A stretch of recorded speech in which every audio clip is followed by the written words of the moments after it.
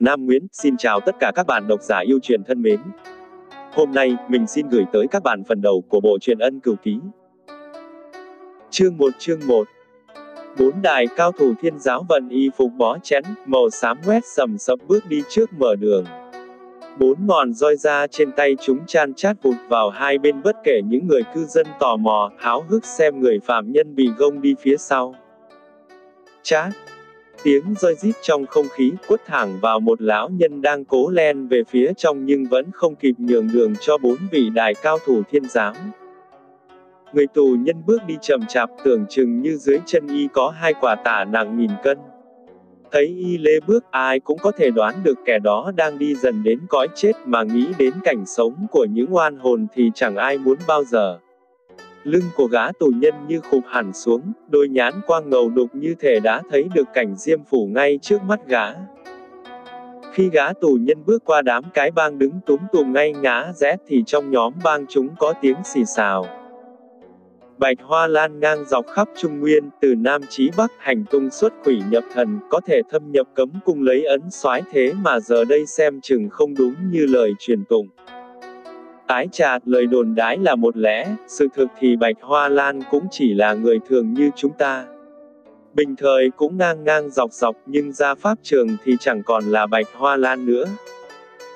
Thế mới biết, anh hùng xa cơ, chỉ anh hùng tử. Hàng cao thủ dẫn đồ tù nhân bước qua đám cái bang đang kháo chuyện, những lời xì sầm liền im bặt. Vốn bang chúng cái bang thường hay nhi nhô những chuyện ngoài giang hồ mà cũng phải nể môn hà thiên giáo, đủ biết thiên giáo có thực lực như thế nào đối với giang hồ rồi. Cửa thành Kim Lăng mở ra để đoàn người áp tải tù nhân ra cửa rời thành tiến về bãi đất trống đã dừng sẵn đài hành quyết phạm nhân. Vây bọc quanh pháp trường là vòng bao cao thủ thiên giáo, tất cả đều nai nịt gọn gàng, mặt lầm lì như những pho tượng vô thần vô cảm, chẳng có nét gì gọi là những thực thể sống. Bạch Hoa Lan bị hai gã thuộc Hà thiên giáo sốc nách, lôi về phía pháp đài. Tên thiên giáo đứng bên tả gần dòng hỏi. Bạch Hoa Lan, ngươi còn muốn gửi gấm gì không, ta sẽ bẩm với giáo chủ thành toàn cho ngươi. Bạch Hoa Lan lắc đầu. Ngươi không còn gì để nói nữa à? Không. Tốt lắm. Gã đao phủ thủ rời nhãn quang tràn ngập sát khí về phía hai tên hán tử giữ chống phát hiệu lệnh trảm thủ phạm nhân lớn dòng ra lệnh. Nổi trống lên. Tiếng của gã đao phủ thủ đủ lớn cho tất cả mọi người nghe như muốn thì uy thầm báo chính y là người vinh dự cắt thủ cấp của Bạch Hoa Lan.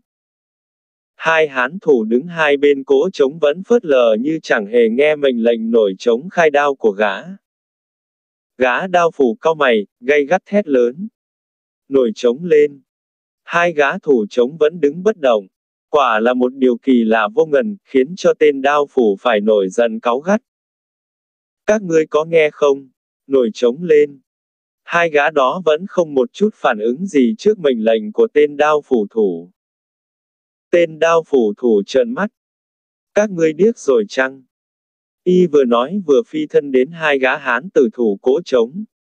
Tên đao phủ chố mắt ngạc nhiên nhìn hai gã hán tử, bởi ít hầu của chúng đính một đóa hoa lan trắng, mà những cánh hoa rung rinh chẳng khác nào con bướm bạch đang đùa giỡn gã. Tên đao phủ thủ ngạc nhiên quá thốt thành lời. Y, thế này là thế nào? Y ngờ ngờ đã có đột biến xảy ra trên pháp trường này, liền trổ khinh thuật lướt đến một cao thủ thiên giáo trong vòng bao, gã thuộc nhân thiên giáo cũng đã chết từ lúc nào rồi, và tất nhiên cũng nhận một cái chết giống như tạc với hai tên hán tử giữ cỗ trống. Tên đao phủ thủ giật thoát ruột, buông luôn một câu. Là thật, chẳng lẽ bạch hoa lan? Y quay ngoắt lại pháp đài. Tên đao phủ thủ thứ hai đứng thất thần ngay giữa pháp đài dưới ánh sáng gay gắt của vầng nhật đỏ rực đóa bạch lan hoa lung linh ngay ít hầu gã. Còn người tù nhân thì đang được hai chiếc bóng nhờn nhợt cắp lướt đi nhanh không thể tả. khinh pháp của những kẻ cướp pháp trường nhanh vô cùng, có thể ví như họ đang đằng vân lướt trên mặt đất. Gã đao phủ thủ thét lên. Dừng lại. Tiếng nói của gã còn đọng trên hai cánh môi thì những người kia đã khuất giảng rồi. Gã tù nhân chẳng biết hai người cắp mình là ai, nhưng thân ảnh cứ phiêu diêu nhẹ tênh như đang cưỡi mây gió, hai bên tai nghe tiếng gì gì, đủ biết những người này có thuật khinh công vô cùng cao minh, có một không hai trong giang hồ. Một khắc trôi qua, ba người đến một ngôi nhà tranh rừng khuất sâu trong một khu rừng trúc, hai người đó mới buông gã tù nhân ra. Đến bây giờ người tù nhân mới định tâm và nhìn lại hai vị ân nhân vừa cứu mình. Y vội vã quỳ xuống sụp lạy ba lễ. Đa tả nhì vị ân nhân đã cứu tiểu nhân. Hai người cướp tử tù đều che mặt bằng vuông lụa đen, cả hai cùng vận võ phục bó chén màu đen chẳng để lộ hình tích. Một người lên tiếng nói. Sao ngươi tự nhận mình là bạch hoa lan? Tên tử tù cúi gục mặt nhìn xuống đất, trông thật là thiểu não. Một lúc lâu y mới dám ngẩng mặt nhìn lên nói. Tiểu nhân muốn nổi danh như bạch hoa lan. Người thứ hai hử lạnh, rồi nói. Vì chữ danh mà ngươi muốn thí cái mạng mình. Ta nghe chói cả lỗ tai. Ngươi đi đi. Gã tù nhận lại tiếp ba lễ rồi mới đứng lên nói. Đa tả nhị vị. Ngươi phải bảo trọng, đừng vì chữ danh hảo mà phí mạng mình. Ngươi không thể là bạch hoa lan được đâu. Chờ cho người kia khuất hẳn, hai người đó mới lột bỏ bộ đồ giả hành hắc ý thay vào hai bộ xiêm y nữ nhân. Cả hai đã trở thành những trang giai nhân tuyệt sắc không thể tin được vừa rồi họ là những cao thủ cướp pháp đỉnh. Một người có vẻ đài các châm anh yếu đuối nhu mì nhưng nhán quang lại thoát lên sự nghiêm khắc đến độ tổng chừng như bất cứ lúc nào cũng sẵn sàng nổi trận lôi đình. Yến Nhi, tại sao y không xuất hiện? Mẫn cơ vừa nói vừa chiếu nhãn quang nghiêm khắc về phía cửa gian nhà tranh. Muội cũng không biết, có thể y đã nhận ra tử tù không phải là bạch hoa lan nên không ra tay. Mẫn cơ lắc đầu. Chúng ta về báo với sư phụ, nếu như y không xuất hiện rõ ràng có gì đó đã xảy ra. Yến Nhi và Mẫn cơ rời gian nhà tranh quay lại Kim Lăng. Cả hai thả bước vào thành như những tiểu thư châm anh rào bước buổi sáng. Đi đến đâu hai nàng đều nghe thiên hạ kháo với nhau về chuyện cướp pháp đình mà ngấm ngầm đưa mắt nhìn nhau mỉm cười. Dâm ran nhất là bọn cái bang, truyền đang tán gẫu với nhau và tất cả đều khăng khăng cho là Bạch Hoa Lan đã được thuộc nhân cứu thoát khỏi pháp đình.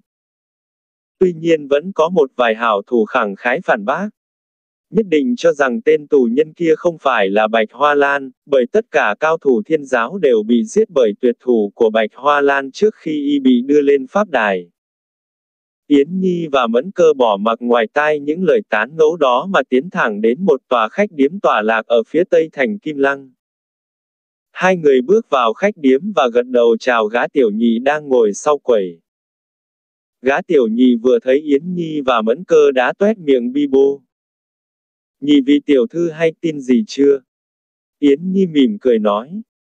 Quán chủ muốn nói đến việc cướp pháp đình hồi sáng phải không? Gã tiểu nhị gật đầu. Tôi tính nói về chuyện đó đấy. Không ngờ thuộc hạ của Bạch Hoa Lan không coi thiên giáo ra gì. Mẫn cơ nhún vai. Ây, Bạch Hoa Lan dù sao cũng là chủ tất phải có môn hạ chứ. Môn hạ của Bạch Hoa Lan thấy chủ của mình sắp rơi đầu đâu thể khoanh tay đứng nhìn. Còn nhiều chuyện ly kỳ nữa kìa. Tỷ như. Yến Nhi khoát tay. Quán chủ thắc mắc làm gì? Chuyện của thiên hạ, chúng tôi không quan tâm đến. Yến Nhi nói xong quay sang mẫn cơ. Chúng ta đi thôi. Mẫn cơ nhìn tiểu nhị. Quán chủ còn để tâm đến việc giang hồ tất có lúc sẽ bị vả lây. Tiểu nhân ghi nhận thỉnh ý của tiểu thư. Hai nàng bỏ gã tiểu nhị, lên cầu thang tiến về phòng mình. Yến Nhi đẩy cửa cùng với mẫn cơ bước vào trong, rồi nhanh chóng khép cửa lại. Trong phòng, một lão nhân ngồi trầm tư ngay bên chàng kỷ, bình trà nóng đã nguội lạnh mà xem chừng lão vẫn chưa uống được ngụm nào. Điều đó chứng tỏ vị lão nhân kia đang mãi suy tư điều gì đó. Yến Nhi và Mẫn Cơ bước lại bên lão nhân. Sư phụ. Lão nhân thở dài, ngước lên nhìn Yến Nhi và Mẫn Cơ bằng ánh mắt chiều mến. Vì lão nhân CSNG phải ai xa lạ, mà chính là lão già đã bị một roi của môn hạ thiên giáo. Mẫn cơ nói. Sư phụ đã có chuyện gì xảy ra khiến sư phụ phải suy tư như vậy? Lão nhân thở dài nói. Hai con đã bị lộ hành tung rồi. Yến Nhi cao mày. Con và mẫn sư tỷ đâu để lộ hành tung của mình. Và cũng không để lộ chân diện mục lại cải thành nam nhân làm sao có thể lộ được. Lão nhân lắc đầu. Y có thể nhận biết bộ pháp của hai con xuất thân từ du môn. Trong giang hồ có mấy môn phái có bộ pháp du thần như du môn chúng ta. Mẫn cơ quay sang nhìn Yến Nhi rồi mới hướng mắt trở lại lão nhân. Sư phụ, nói như vậy thì y đã có mặt tại Pháp Đình hồi sáng này à? Lão nhân gật đầu. Y đã có mặt tại Pháp Đình. Giờ người đó đang ở đâu? Thế nào y cũng tìm đến du ảnh thần tàn phong thôi. Y sẽ tìm đến sư phụ. Nhất định y phải tìm đến. Lão nhân thở dài một tiếng. Nếu như thiên giáo biết được thân phận của các con thế nào cũng sẽ cho cao thủ tìm đến ta. Nếu như có bất cứ chuyện gì xảy ra, các con không được chen vào. Yến Nhi lắc đầu. Chúng con không thể để mặc cho sư phụ một mình trèo chống đâu. Du ảnh thần tàn phong lắc đầu. Sư phụ quyết định như vậy vì có nguyên nhân. Mẫn cơ hỏi. Sư phụ có thể cho con biết nguyên nhân đó được không? Du ảnh thần tàn phong nhìn lên trần phòng thở dài. Sư phụ biết y không phải là kẻ tầm thường. Mà lúc này thì ngay cả Bạch Hoa Lan cũng không biết y là người như thế nào. Y phục vụ cho ai, Bạch Hoa Lan đã cảnh báo sư phụ phải cảnh giác con người này mà thôi. Yến Nhi nhìn Mẫn cơ nói. Sư phụ hãy để con và Mẫn sư tỷ điều tra y xem sao. Hai con không được xen vào vụ việc này. Du môn có mệnh hệ gì chỉ mình sư phụ chịu, hai con còn trọng trách phục hồi môn phái du môn. Mẫn cơ nghiêm mặt. Sư phụ chúng con không để mặc mình sư phụ đâu. Dù cho gã kia có ba đầu sáu tay, thông thiên vũ trụ nhất định cũng không thể để cho gã đụng đến du môn. Mẫn cơ con không được vòng động, ít ra lúc này sư phụ và Bạch Hoa Lan cũng chỉ võ đoán thôi, chứ chưa biết chắc truy hình tướng nhận ra võ công của hai con. Yến Nhi chen vào. Nhất định con phải diện kiến gã truy hình tướng đó coi bản lĩnh y như thế nào mà sư phụ và bạch cô cô trọng vòng như vậy. Du ảnh thần tàn phong lắc đầu. Yến Nhi con không được coi thường truy hình tướng. Ngay bây giờ chúng ta phải rời khỏi Kim Lăng. Mẫn cơ hỏi. Sao mình phải đi gấp như vậy? Ý của Bạch Hoa Lan, chúng ta càng tránh xa truy hình tướng chừng nào tốt chừng ấy. Nói như vậy thì sư phụ đã biết mặt truy hình tướng. Du ảnh thần tàn phong lắc đầu. Sư phụ và Bạch Hoa Lan vẫn chưa biết mặt y. Nhưng Bạch Hoa Lan thì đoán chắc truy hình tướng nhất định là một hảo thủ vô tiền khoáng hậu, đang được sự trọng dụng của giáo chủ thiên giáo. Tốt nhất nên tránh mặt y mà thôi. Yến Nhi giấy nãy. Sư phụ và Bạch cô cô coi trọng người quá thôi. Nàng phùng phìu nói tiếp. Chưa thấy người mà đã cuống lên rồi. Con ngỡ sư phụ và bạch cô cô xem gã truy hình tướng kia là rồng là phụng đến lúc diện ngộ thì lại hóa thành quả thành tôm. Du ảnh thần tàn phong nạt ngang. Yến Nhi, con không được vô lễ. Con nói như vậy hóa ra coi thường bạch hoa lan cô cô của mình. Từ trước đến nay có bao giờ bạch hoa lan hành xử thiếu cẩn trọng đâu. Hôm nay Bạch Hoa Lan cảnh báo về nhân vật truy hình tướng, thì dù biết gã đó không tầm thường rồi, sự khinh thị của con sẽ gây hỏa không chỉ cho du môn mà còn liên lụy đến Bạch Hoa Lan. Yến Nhi nghe du ảnh thần tàn phong của trách cúi gầm mặt xuống lý nhí nói. Con vòng ngôn, sư phụ bỏ qua cho con. Du ảnh thần tàn phong mỉm cười. Ta chỉ muốn cảnh báo cho hai con mà thôi. Đừng xem thường người mà chuốc hỏa vào thân. Với lại đây là một con người mà Bạch Hoa Lan cô cô đã cảnh báo trước. Du ảnh thần tàn phong thở dài lần nữa. Hai con mau thu xếp lên đường đến Giang Tô. Yến Nhi nói. Sư phụ không đi cùng với chúng con. Du ảnh thần tàn phong cao mày. Con chưa có kinh nghiệm giang hồ. Nhất thời chúng ta chia làm hai đường. Mẫn cơ và con đi chung, hai con hỗ trợ cho nhau, còn sư phụ sẽ đến Giang Tô sau. Ta và hai con sẽ gặp nhau tại tù nghĩa đường. Du ảnh thần tàn phong đứng lên. Hai con mau thu xếp lên đường. Mẫn cơ bằm môi. Yến Nhi vừa toan mở miệng thì du ảnh thần tàn phong nheo mày nói luôn. Mau lên đường đi, Kim Lăng là cấm địa của thiên giáo, chúng ta ở đây không tiện đâu. Mẫn cơ mở lời. Hai con sẽ đi trước, sư phụ bảo trọng. Nàng nhìn qua Yến Nhi, rồi cả hai cùng bái sư ba lễ quay bước trở ra cửa về phòng mình. Vừa bước vào phòng, Yến Nhi gay gắt nói với Mẫn Cơ. Tỷ tỷ, không biết gã truy hình tướng đó là người như thế nào mà xem chừng lại được sư phụ và cô cô trọng vòng quá. Sư phụ càng tân bốc y chừng nào muội càng muốn gặp mặt y chừng đấy.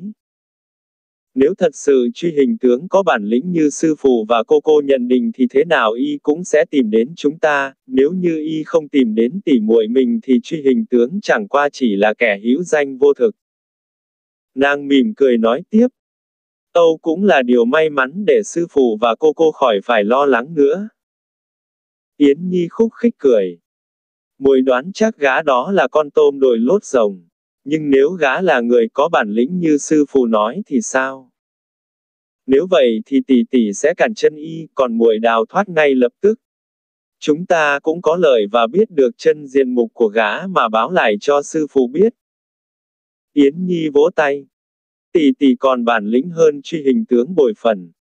Muội lúc nào cũng khen tỷ tỷ, sau này sẽ thất vọng đấy. Chương 2 chương 2 Yến Nhi và Mẫn Cơ vừa đặt chân xuống hết nấc cầu thang cuối cùng, hai nàng cảm nhận có những điểm gì biệt trước lúc bước vào tòa khách điếm này.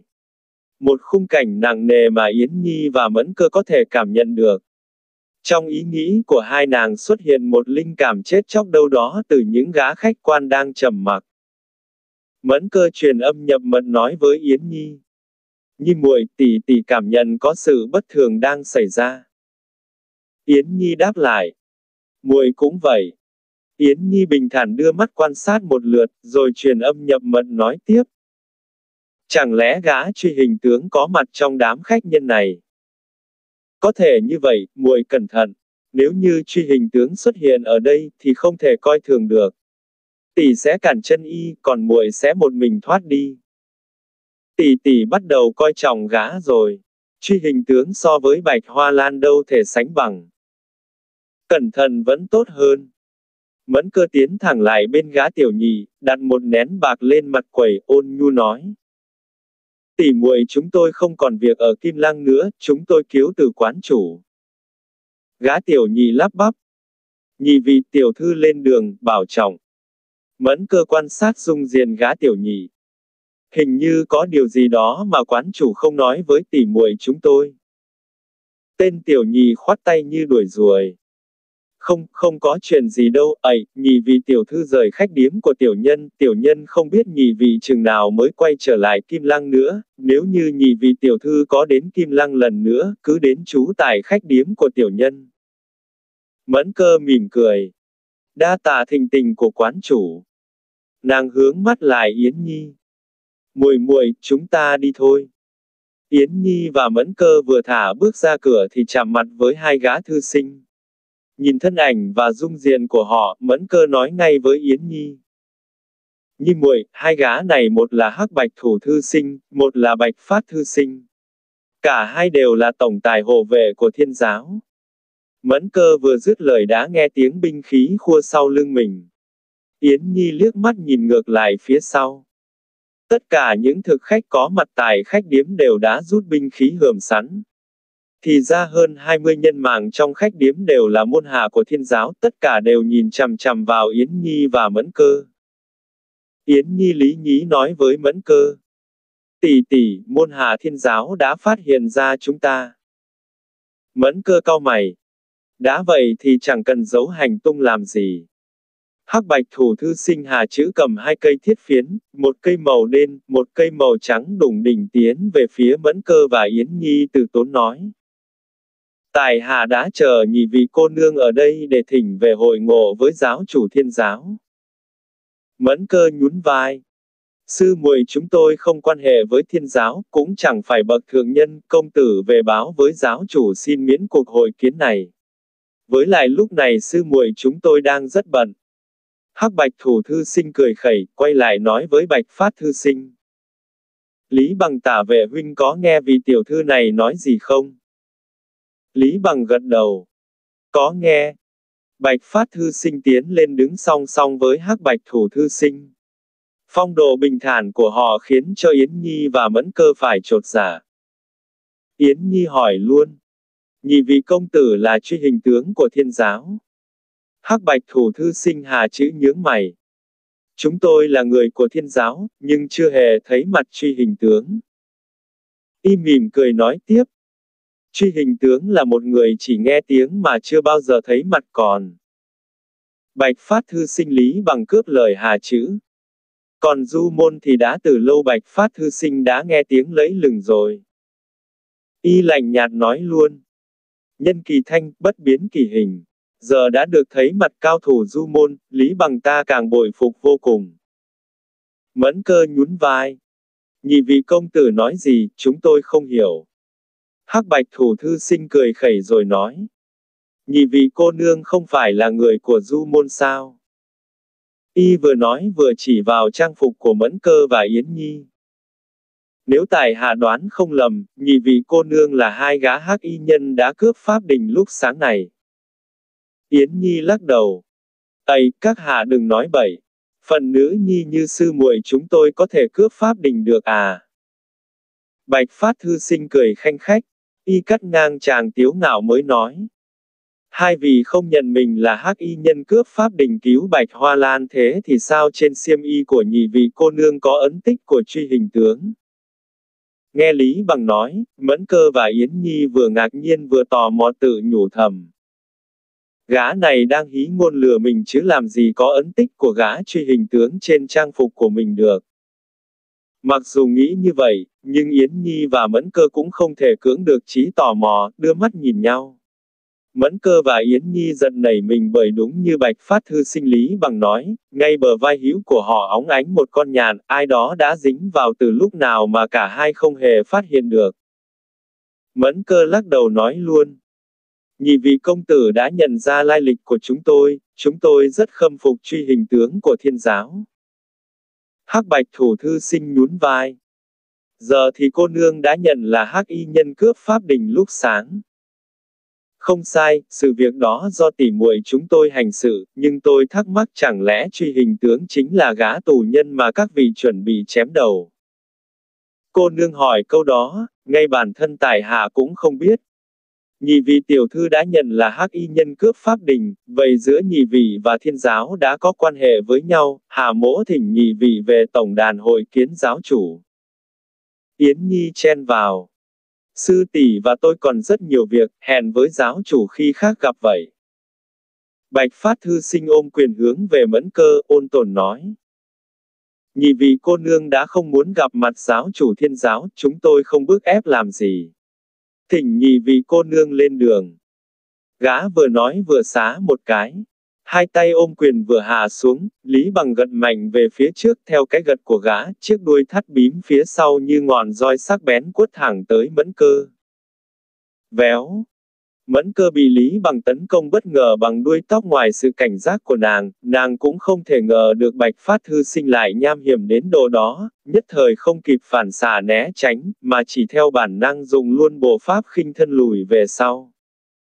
Mặc dù mẫn cơ là hảo thủ du môn, thân pháp vô cùng ảo diệu, thế mà vẫn bị đuôi tóc của Lý bằng cắt luôn một đường dài xẻ dọc y phục của nàng từ thượng đẳng kéo tới hạ đẳng.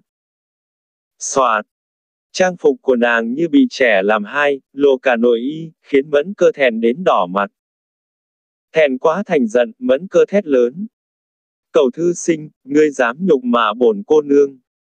Cùng với tiếng quát đó, mẫn cơ rừng ngọc trường phát kích ba thức xuyên tâm trường phối hợp cùng du hành bộ pháp công thẳng vào bạch phát thư sinh. Thân ảnh của nàng thấy bóng mà chẳng thấy hình, cùng lúc ngọc thủ tạo áp lực cuồn cuộn chia thành sáu hướng vây bọc thân pháp lý bằng. Chát chát chát. Trường ngọc của mẫn cơ dù biến hóa theo du hành bộ pháp linh hoạt không thể tả thế mà vẫn bị chiếc đuôi sam của bạch phát thư sinh ngáng đỡ dễ dàng. Mỗi lần trường ngọc của nàng chạm vào đuôi sam của Lý Bằng thì cảm nhận như bị chiếc đuôi cá đối quất vào hổ khẩu rát bỏng. Lý Bằng vừa dùng đuôi sam cản phá trường công của mẫn cơ vừa nói. Cao thủ du môn có khác, vừa linh hoạt vừa ngoan cường, nếu như Lý mỗ chủ động tấn công chưa chắc đã chạm được tới chéo y của nàng. Gã dứt lời bất ngờ ngoắt cổ, đuôi sam như con rắn trắng quấn luôn vào tà thủ mẫn cơ. Mẫn cơ thấy kỳ biến trên bộ, nhưng vẫn không kịp thâu hồi trường ảnh nên bị đuôi sam quấn chít lấy luôn. Lý bằng ngã người ra sau, kéo gịt mẫn cơ về phía trước. Mẫn cơ nghiến răng, xít giọng. Ngươi muốn chết. Lợi dụng thế gịt của Lý Bằng, nàng áp thẳng luôn vào gã hữu thủ biến hóa từ trường thành trảo, chẳng khác nào năm chiếc vuốt chim mảnh khảnh quấu xuống yết hầu đối phương. Nàng biến hóa cực kỳ nhanh, nhưng Lý Bằng như đã cảnh giới từ trước y cười khẩy một tiếng, dừng luôn hữu thủ, vận kình cùng vươn chảo chộp thẳng vào chảo công của mẫn cơ. Chạt! Hai đôi chảo công chạm thẳng vào nhau, âm thanh phát ra ngỡ như đao kiếm chém thẳng đỡ thẳng. Vô hình chung chảo công của mẫn cơ và Lý Bằng đan chéo vào nhau, không bên nào rút lại được. Tà thủ thì bị khống chế bởi chiếc đuôi sam, hữu thủ đan dính vào chảo công của đối phương, mẫn cơ như người bị trói tay, đâm ra lúng túng vô cùng. Lý bằng tùm tỉm cười. Lý mỗ còn một tay, không biết cô nương lấy gì cản được thế công của Lý mỗ đây. Yến Nhi thấy mẫn cơ rơi vào tình thế hiểm nguy liền thét lớn toan băng vào cuộc giải vây cho sư tỷ, nhưng vừa nhích đồng thân pháp thì thấy trước mặt mình đôi thiết phiến một đen một trắng, như hai con bướm khổng lồ che khuất tầm mắt. Hắc bạch thủ thư sinh cười hà hà, vừa nói. Tài hạ cũng muốn thỉnh giáo bản lĩnh của cao thủ du môn. Hà chữ vừa nói vừa vung bạch thiết phiến tạo thành kình khí công vào thượng đảng Yến Nhi. Nàng đào bộ tránh ngọn kình đó thì đã thấy hắc thiết phiến như ngọn chủy thủ chập trần toan thọc vào hạ đảng mình. Yến Nhi điểm mũi hải băng mình lên không. Hắc bạch thủ thư sinh cười khanh khách kẹp đôi hắc bạch thiết phiến, chập trần như đôi bướm đen trắng vùn vụt kết thành một dòng xoáy kình dưới chân Yến Nhi. Chưa công được đối phương trưởng nào đã rơi vào thế bị động Yến Nhi bất nhẫn vô ngần, vận dùng hết chân ngươn tù khí từ trên cao đánh bổ xuống dòng xoáy thiết phiến của hắc bạch thủ thư sinh một trường với 12 thành công lực. Bù! Trường kinh của nàng tàn mát ngỡ như chui tọt vào dòng xoáy dưới chân mình, chẳng hề phát tán dư lực nào.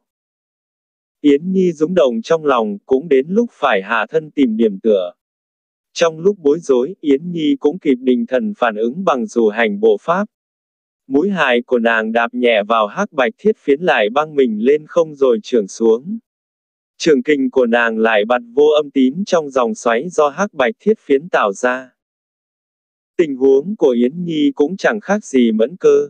Cả hai đều rơi vào tình huống hạ phong, bị động trong sự kiềm tỏa của hắc bạch thủ thư sinh và bạch phát thư sinh.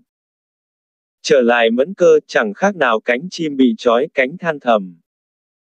Mình và Yến Sư muội rơi vào tay thiên giáo, nếu vậy thà chết để giữ uy danh của du môn còn hơn để cho hai gã công tử này bức nhục. Ý nghĩ còn đọng trong trí mẫn cơ thì nghe tiếng bạch phát thư sinh thốt lớn. a à, Cùng với tiếng thét thất thần của bạch phát thư sinh lý bằng tà thủ của nàng đã được tự do kéo theo cả đuôi sam của đối phương. Mẫn cơ còn chưa hết ngạc nhiên thì nghe tiếng huýt sáo ngay bên màng tai mình. Nàng còn ngỡ ngàng thì cảm nhận ai đó đã vòng qua tiểu yêu nhấc bổng lên băng về phía Yến Nhi và Hà Chữ.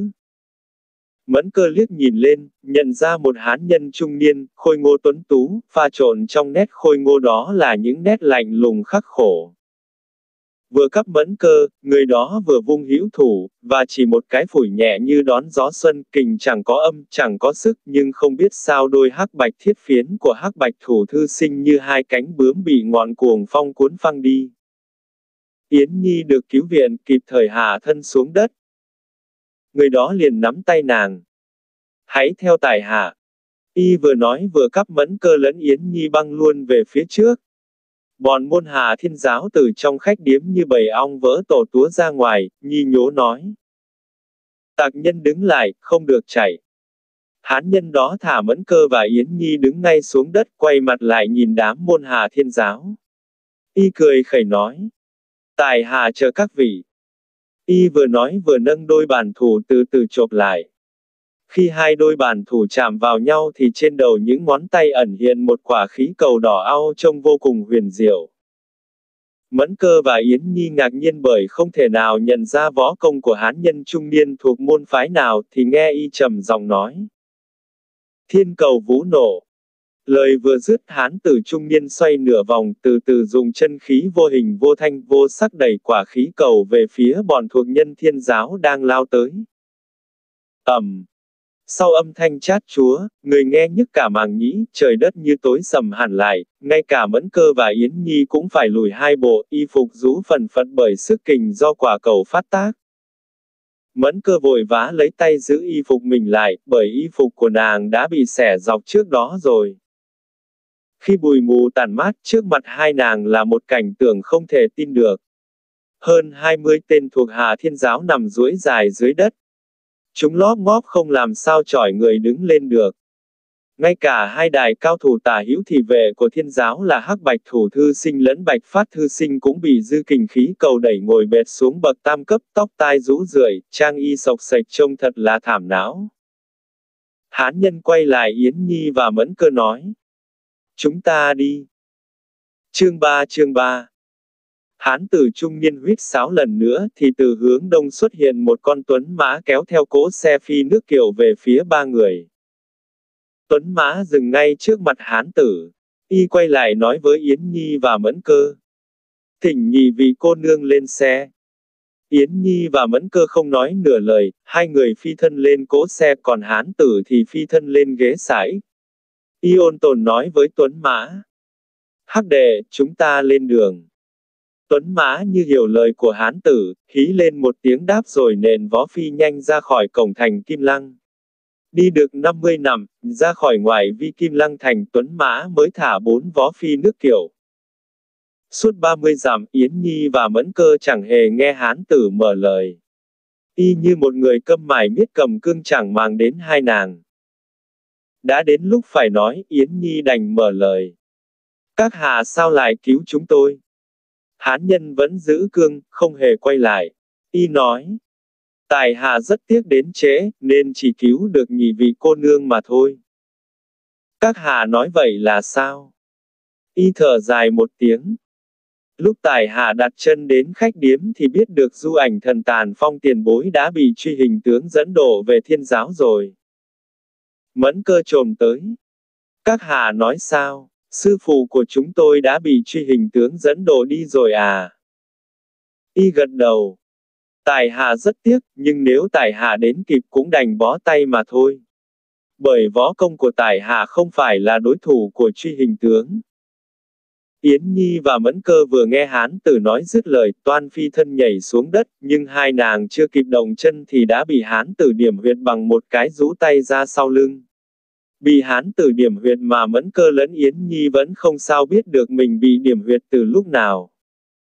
Y ra tay quá nhanh, ngoài sự tiên liệu của mẫn cơ lẫn Yến Nhi. Yến Nhi buột miệng thốt thành lời. Các hạ đã điểm huyệt tỉ muội chúng tôi. Y thản nhiên gật đầu, mà không hề quay lại. Nhị vị cô nương muốn nạp mình cho thiên giáo hay sao mà muốn quay lại thành kim lăng? Mẫn cơ thở dài một tiếng, Tôi không thể để sư phụ một thân một mình trong chốn hang cọp này.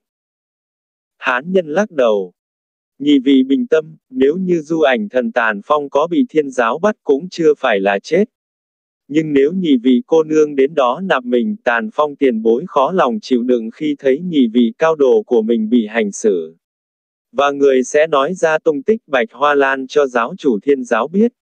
Điều đó còn tệ hại hơn nữa. Mẫn cơ bằm môi. Các hạ là ai mà biết du môn có quan hệ với bạch hoa lan? Hán tử dừng ngựa, quay mặt lại đối nhán với Yến Nhi và Mẫn Cơ. Vẻ mặt anh Tuấn pha lẫn những nét lãnh cảm khiến cho hai nàng phải bồi hồi khi đối mặt với gã. Iôn tồn nói. Tài hạ họ hoàng tục danh thế lắm. Tài hạ không xuất thân từ một môn phái nào cả. Mẫn cơ khẳng khái hỏi luôn. Tôi muốn biết các hạ làm sao biết được mối quan hệ giữa du môn với bạch hoa lan. Hoàng thế lãm nhún vai. Tài hạ vốn thích ngao du khắp giang hồ, trước đây một năm có nghe thiên hạ kháo với nhau, trong giang hồ xuất hiện một nhân vật có võ công xuất quỷ nhật thần, đã thâm nhập cấm cung lấy ấn soái nên nảy ý tìm gặp người đó. Mẫn cơ lắc đầu. Hoàng các hạ không nói thật lòng. Hoàng thế lãm nhún vai. Ây, sao cô nương lại nghi ngờ tại hạ? Cấm cung đâu phải ai cũng vào được, nên việc Bạch Hoa Lan đột nhập cấm cung đã là một việc chấn động giang hồ, huống chi còn lấy được cả ấn soái nữa. Thế lãm mỉm cười nói tiếp. Như cô nương đây chắc cũng bái phục Bạch Hoa Lan.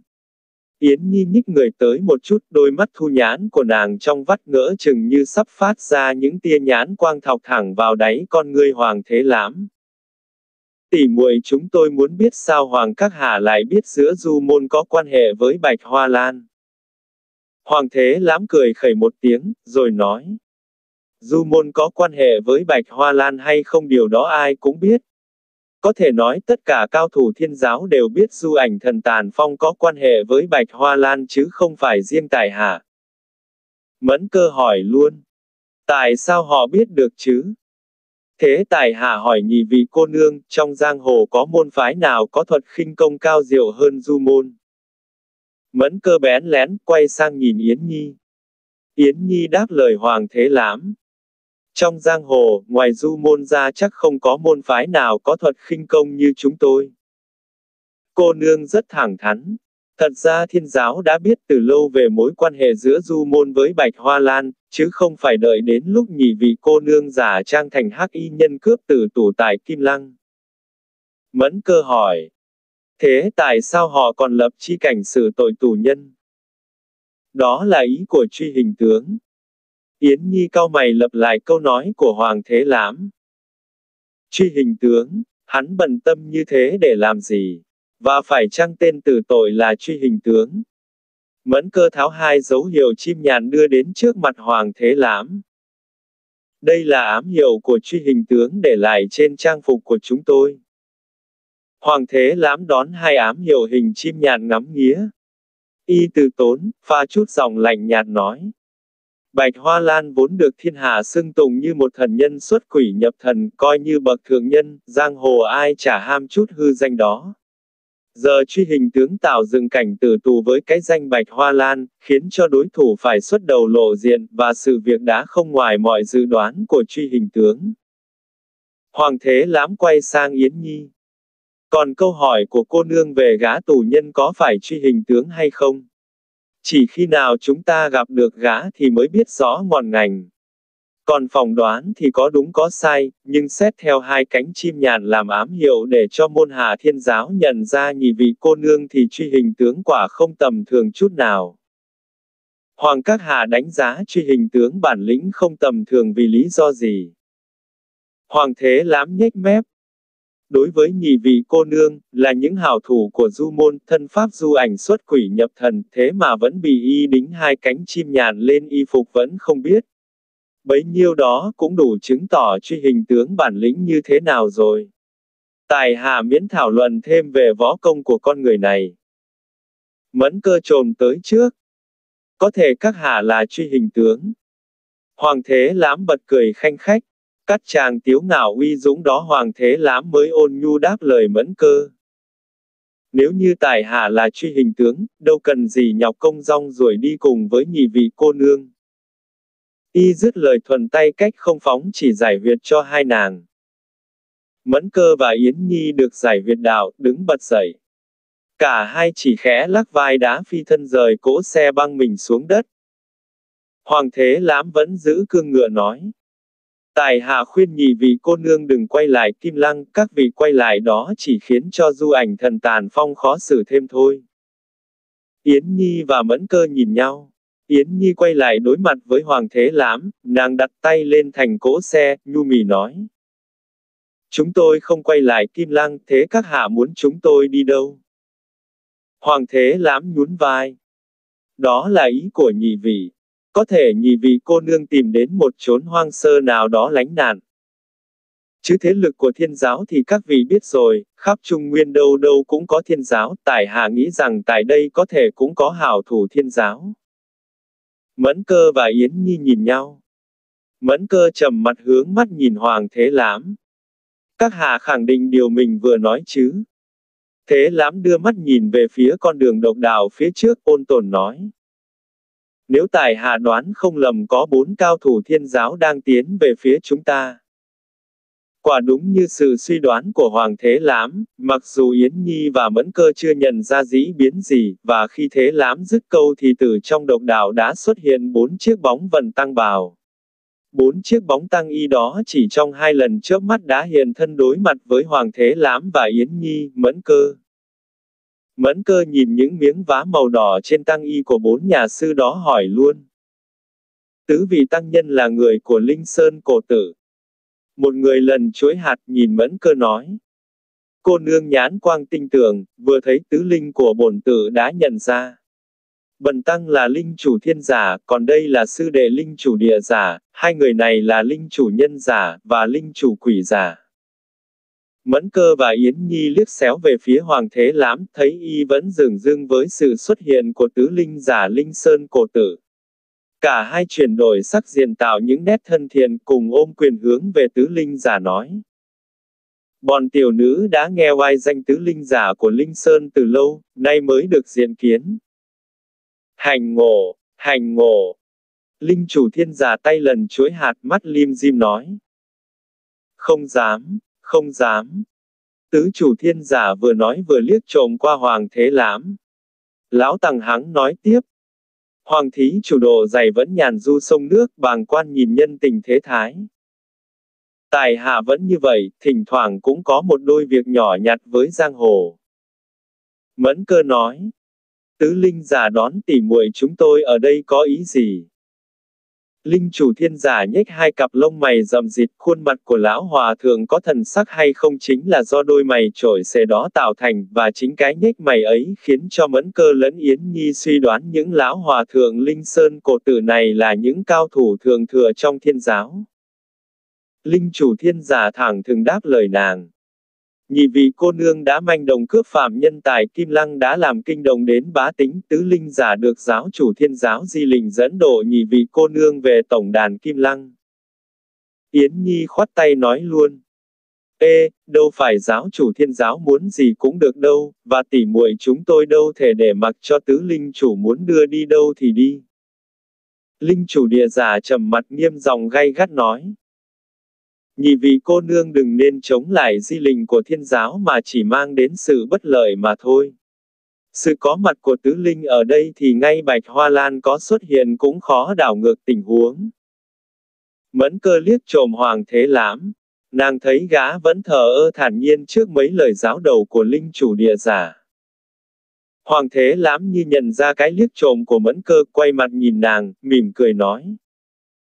Linh chủ địa giả vừa nhắc đến Bạch Hoa Lan, thì Bạch Hoa Lan xuất hiện. Y cúi xuống vỗ về con hắc mã. Hắc huynh, chúng ta nên đi hay nên ở? Tuấn mã nền hai vó trước thình thịch, nghếch đầu hí dài một tiếng. Hoàng thế lãm gần gù nói với Tuấn mã. Hắc huynh muốn xem truyền thị phi trốn giang hồ à? Thế cũng được, chúng ta sẽ xem.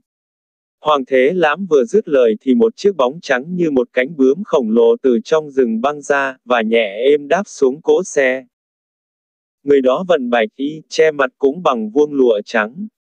Nhìn lối trang phục bề ngoài của y ngỡ như một xác ướp với những vòng lụa trắng toát, vừa từ lăng huyệt chui lên. Mặc dù Bạch Hoa Lan ngồi sau lưng thế lắm, nhưng xem chừng thần sắc của y cũng chẳng thay đổi gì cả, vẫn sự thờ ơ như chẳng hề biết Bạch Hoa Lan đang ngồi sau lưng mình. Bạch Hoa Lan di nhãn nhìn Yến Nhi và Mẫn Cơ ra hiệu cho họ bước lên khoang xe. Nhận được ám hiệu đó, Yến Nhi và Mẫn Cơ phi thân trở lại cố xe của Hoàng Thế Lãm. Linh chủ thiên giả quắc mắt nói với Bạch Hoa Lan. Hừ, Bạch Hoa Lan, ngươi có thể chạy khỏi tứ linh sứ giả hay sao?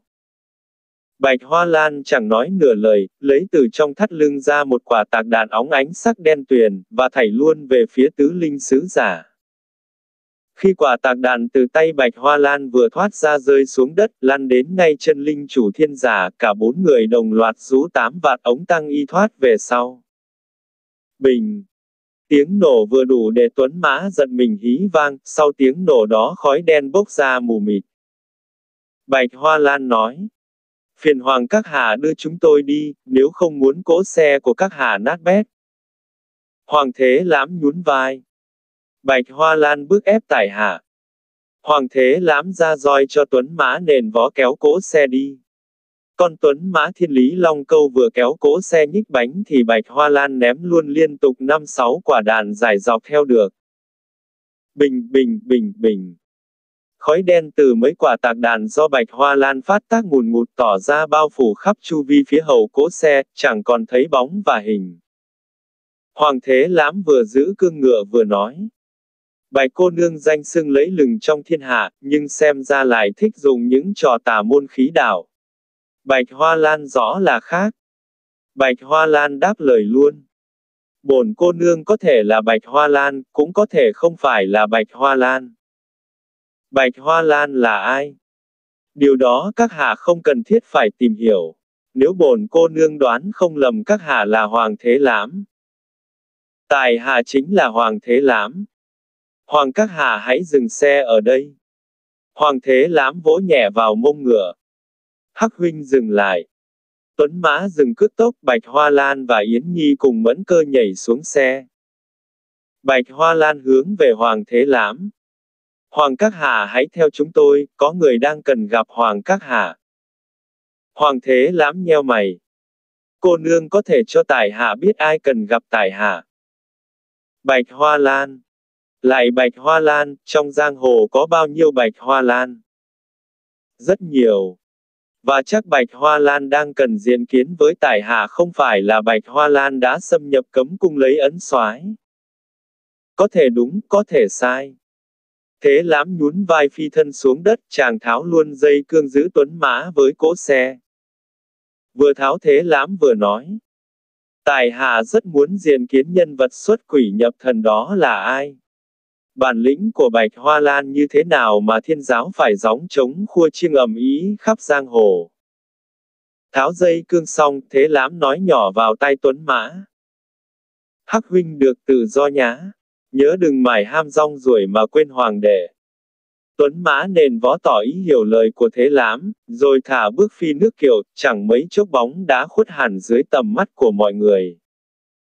Bạch Hoa Lan tấm tắc khen, Huấn luyện được một con tuấn mã hiểu được ý chủ nhân, trên giang hồ ngoài con ngựa của Hoàng Các Hà ra chẳng còn con ngựa thứ hai.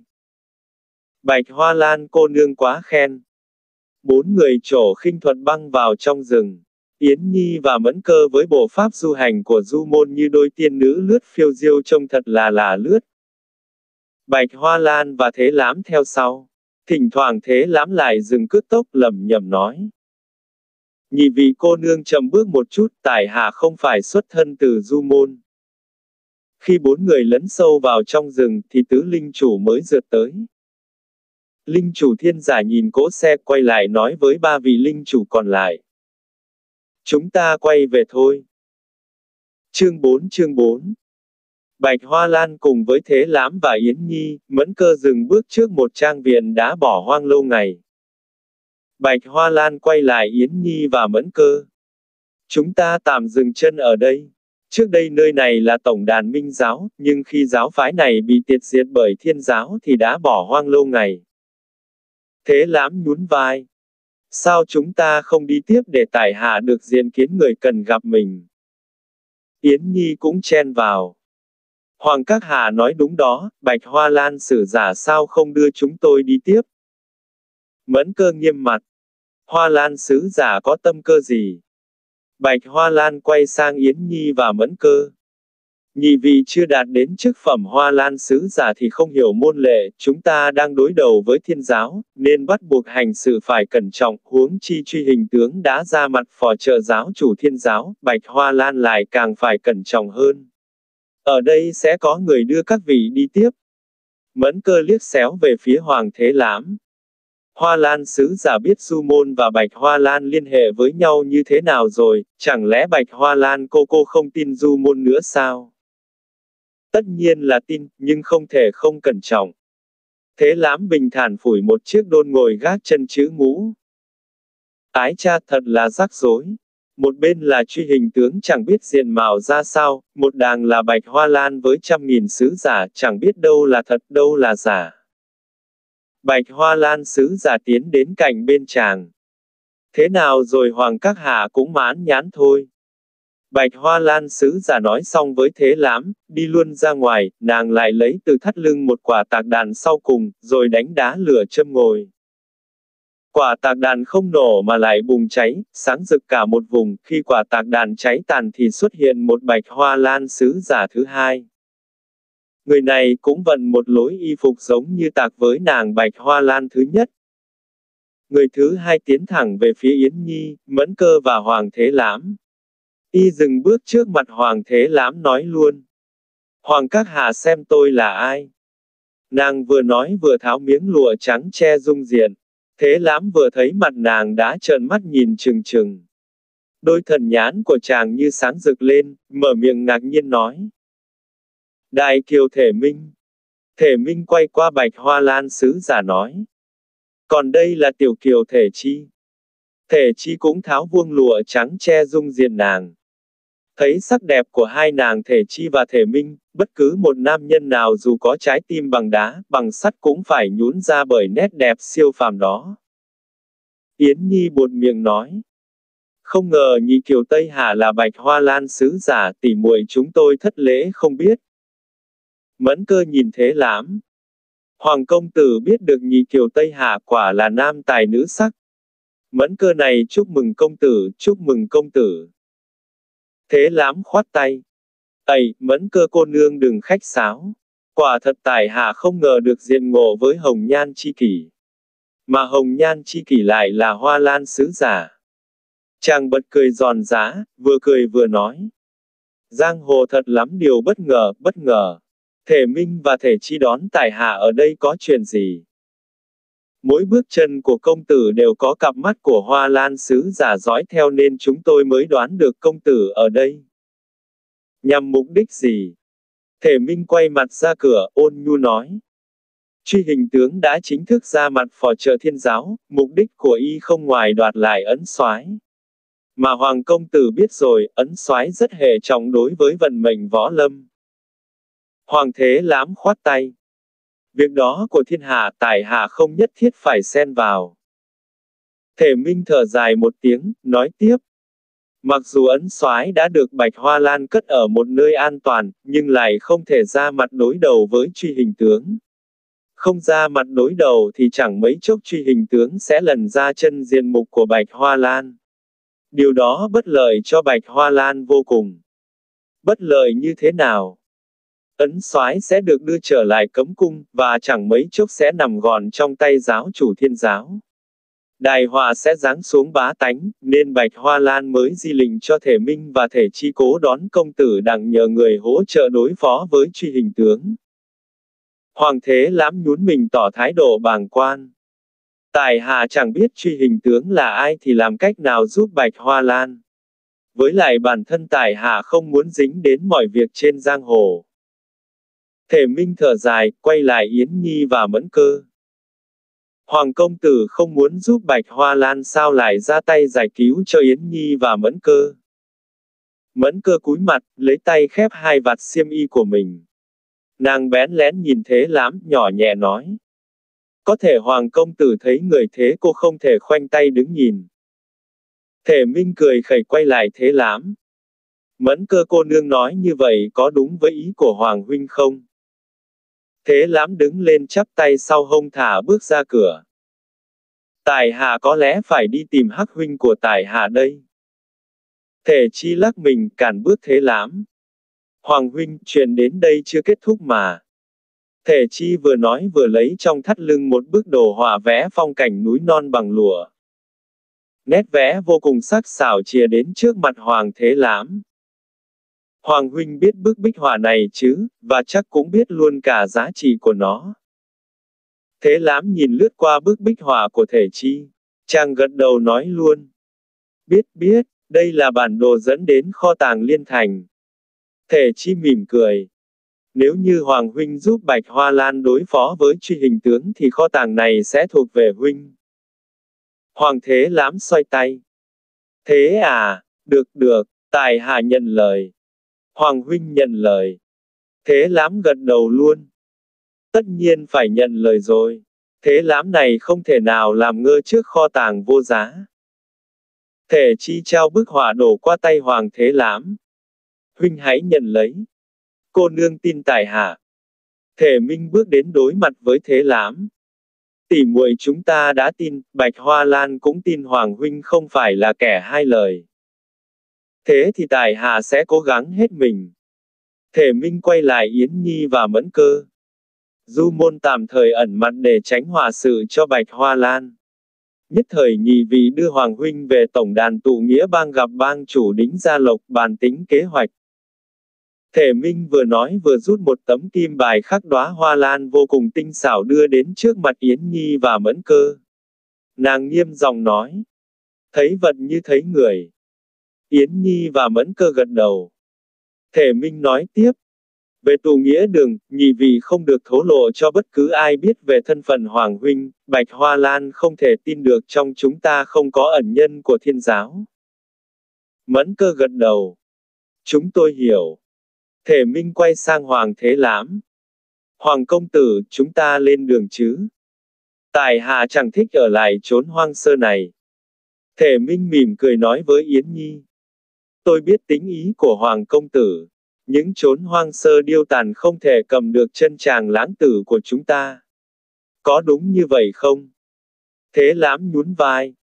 Ở đâu cũng vậy thôi, nhưng tài hạ không phải thuộc hàng người thích cảnh cô tịch. Thế lãm nhìn thể chi. Cô nương đồng ý với tài hạ chứ? Mỗi người có một ý niệm khác nhau, cách hành xử khác nhau. Hoàng thế lãm nhếch mép. Thể chi cô nương tự khắc khe với mình. Chàng quay lại mẫn cơ. Nhị vị cô nương, chúng ta lên đường chứ. Tài hạ thiết nghĩ tứ linh chủ đã đi xa rồi và không dành thời gian lần theo dấu vết của tài hạ đâu. Quay lại thể minh, chàng nói tiếp. Chúng ta hành sự còn tùy vào lối hành sự của người khác, nên có thể đúng, và có thể sai. Tuy nhiên ba vị cũng nên cẩn trọng. Đối mặt với thiên giáo, không cẩn trọng không được. Thế lãm nhún vai thả bước ra cửa. Chàng chợt quay lại nói với mẫn cơ. Tài hạ nói chẳng khi nào sai cả, vừa nhắc đến thiên giáo thì thiên giáo đã có mặt rồi. Ái trà, lại một phen tài hạ phải múa mấy tay chân. Nghe thế lãm nói, Mẫn Cơ và Yến Nhi đoán đã có sự biến bên ngoài tòa trang viện này. Hai nàng đồng loạt đưa mắt nhìn qua thể minh và thể chi để hội ý. Thể minh và thể chi che lại dung diện của mình bằng vuông lụa trắng. Thể minh nói. Chúng tôi ở lại không tiện. Hướng về thế lãm, thể minh nói tiếp. Hoàng công tử, có một điều tôi chưa nói ra. Trong thiên giáo vẫn có người của tụ nghĩa đường, người đó là ai chỉ có bạch hoa lan biết mà thôi. Thế lãm nhún vai. Thật là rắc rối, nhưng nếu y có bản lĩnh làm nội gián trong thiên giáo thì bản lĩnh không tầm thường rồi. Thể Minh gật đầu. Thể Minh và Thể Chi liếc mắt hội ý với nhau. Cả hai vái chào Mẫn Cơ và Yến Nhi, rồi theo cửa sau băng mình thoát ra khỏi trang viện khinh công của họ vô cùng cao thâm, nên sự ra đi của họ khiến bọn môn hạ thiên giáo chẳng có chút đồng tình phản ứng gì. Thế lãm nhìn theo hướng thể minh và thể chi thoát đi, nhún vai nói. Bản lĩnh của nhị kiều giang đông quả là có khác với hàng nữ nhi tầm thường. Bạch Hoa Lan có một đội sứ giả như hai nàng vừa rồi thì việc lấy ấn soái trong cấm cung quả là dễ hơn lấy đồ trong túi mình. Chàng chỉ luôn cửa sau mà thể minh và thể chi vừa thoát đi, nói với Mẫn Cơ và Yến Nhi. Nhị vị cô nương có thể dùng du hành bộ pháp thoát ra bằng cửa này cũng được. Chúng ta khỏi bận lòng với cao thủ thiên giáo. Thế lãm vừa dứt lời, từng loạt tên lửa vun vút bắn vào trang viện. Chỉ sau một loạt tên, lửa đã bốc ngùn ngụt. Mẫn cơ cao mày. Thiên giáo tính thiêu cháy chúng ta. Thế lãm cười khẩy. Chẳng lẽ họ chỉ muốn hâm nóng cô nương? Chàng chia tay đến trước mặt mẫn cơ. Cô nương còn ít quả tạc đạn nào không? Mẫn cơ lắc đầu. Tôi đã xài hết rồi. Hết rồi à? Tôi nói hết là hết mà. Xà nhà đổ sập xuống, chắn luôn cửa hậu như một bó đuốc khổng lồ cắt ngang đường rút lui của ba người. Thế lãm nhún vai. Cửa sau bịt bít rồi, đành đi cửa trước. Hoàng thế lãm vừa nói vừa cởi tấm áo choàng bên ngoài, đưa đến trước mặt ngắm nghía, thở dài một tiếng. Ái trà! Chàng quay lại mẫn cơ và Yến Nhi. Tấm áo choàng của tài hạ mỏng quá, có thể không che chắn được những mũi tên bọc đồng, và còn phải dập lửa nữa. Chàng bước lại bên Yến Nhi và mẫn cơ. Phiền nhì vì cô nương cho tài hạ mượn luôn hai tấm áo choàng của hai nàng. Mẫn cơ và Yến Nhi ngượng chín mặt. Ê! Thế lắm khoát tay. Dĩ biến phải tùng quyền. Hay vì tiểu tiết mà nhị vì muốn chết thui trong tòa trang viện này. Thế lắm chỉ lên sàn nhà ngang. Cây xà ngang này mà sập xuống nữa, xem như tài hạ và nhị vị cô nương hết đời. Trang mỉm cười nói tiếp. Tài hạ không ngoa ngôn. Nhị vị cô nương nhìn vẻ ngoài không thua những trang tuyệt sắc giai nhân thành kim lăng, thế thì cần gì phải giấu những nét kiến tạo của ông trời chứ? Biết đâu chính điều đó khiến cho bọn cung thủ thiên giáo ngẩn ngơ mà không nỡ buông tên. Thế lãm vừa nói vừa hóm hình nhìn Mẫn Cơ và Yến Nhi. Không còn cách nào khác Yến Nhi và Mẫn Cơ đành cởi ngoài y trao qua tay chàng, sắc diện bén lén vô ngần. Thân thể hai nàng chỉ còn bộ nội y che tạm bên trong, không thể giấu hết những đường nét yêu kiều của thục nữ, cộng với làn da trắng ngần tợ bạch ngọc tràn ngập hấp lực cuốn lấy nhãn quang của nam nhân. Thế lãm lầm nhầm điều gì đó trong miệng. Mẫn cơ hỏi. Hoàng công tử nói gì vậy? Chàng lơ đánh quay lưng. Nhị vị hãy theo tài hạ. Tôi muốn hỏi công tử vừa nói gì? Chúng ta vừa chạy vừa nói cũng không muộn.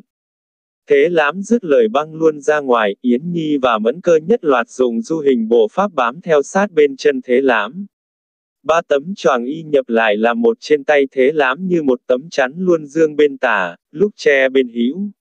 Cả ba người thoáng chốc đã thoát được 20 trường mà chẳng hề thấy có một mũi tên nào được bọn cung thủ bắn ra truy kích. Thế lám quay lại, cười khẩy với Mẫn Cơ và Yến Nhi. Quả như dự đoán của tài hạ, bọn cung thủ quá mê mẩn, đến lúc này vẫn chưa định tâm truy kích chúng ta.